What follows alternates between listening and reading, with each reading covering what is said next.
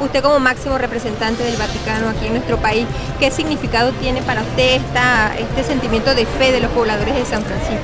¿Qué mensaje nos Eh, daría? eh, tengo una gran alegría de estar aquí como italiano porque San Francisco es un santo muy, muy, muy amado en Italia y en todo el mundo.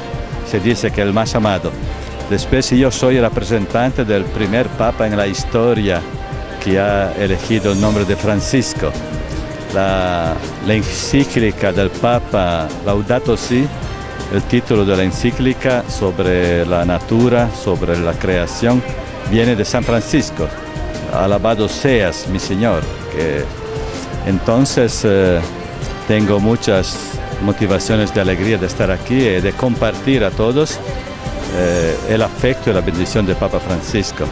Yo estoy seguro que Papa Francisco sería muy contento de estar él aquí, pero no podía llegar hoy, ahora ha enviado su representante. Y agradezco al, al pueblo, agradezco al señor párroco, a todos eh, los miembros de la comunidad por la acogida. Esto, acogida es un regalo por mí, ma sobre todo un regalo por eh, Papa Francisco.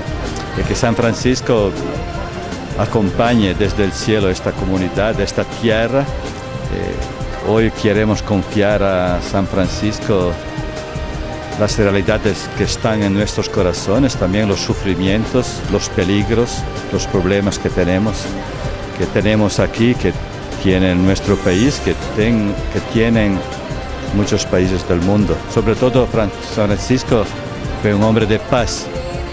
El Papa habla hoy de una guerra mundial a pedacitos. Nosotros creemos que en la paz, eh, este encuentro sea una importante contribución a la paz. Dios les bendiga.